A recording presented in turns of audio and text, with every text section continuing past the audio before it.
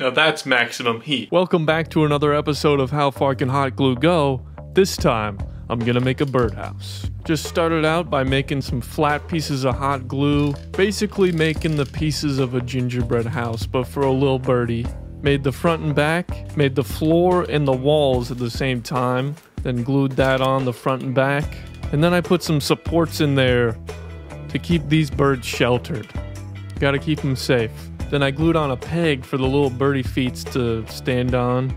And then I put the roof on, and there you have it. It's a hot glue birdhouse. Check back in a week or so and see if we get any birds in there.